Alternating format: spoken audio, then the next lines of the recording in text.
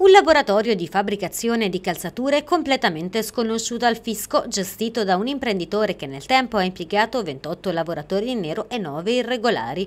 Questo quanto scoperto dalla Guardia di Finanza di San Giovanni Valdarno. Nei confronti dell'imprenditore sono state così elevate multe per violazioni alla normativa sul lavoro pari a oltre 200.000 euro, 7.200 euro è infatti la sanzione minima prevista per ciascuno dei 28 lavoratori in nero. Ma non solo, sono stati contestati stati redditi non dichiarati per circa un milione di euro, violazioni all'IVA e in materia di ritenute sui redditi del lavoro dipendente per 300 mila euro. Un circuito truffaldino che ha consentito di abbattere notevolmente i costi aziendali praticando in tal modo una concorrenza sleale rispetto al distretto della moda.